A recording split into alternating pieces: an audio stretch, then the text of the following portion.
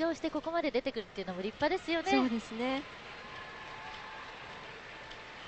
跳馬シモナ・アマナールです。アマナールは3種目終わって6位につけています。さあこの跳馬彼女は得意ですから。これが最後の種目ロ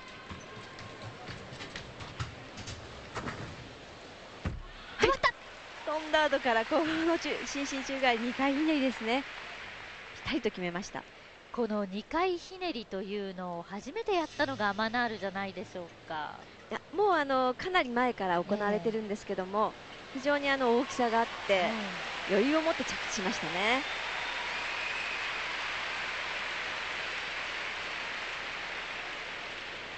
余裕を持ってのシモナー・マナールの跳馬です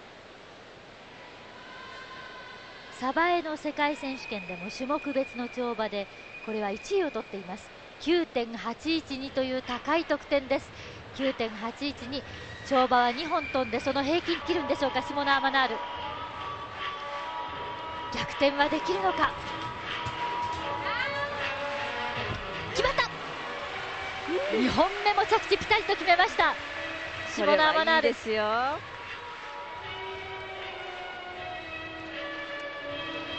とにかくロンダードから入るんですけども非常にもう助走のスピード最後まで緩めることなく入りますよね、もうこれが後半の大きな飛躍を生み出してい。るところですねそしてこの距離、はい、ご覧いただけますでしょうか。もう着地した時には跳馬が見えなくなっているほど遠くへ飛んでしまう、はい、これがアマナールの跳馬の特徴です、はい、9.875 9.875結果9.843という得点がアマナールの得点。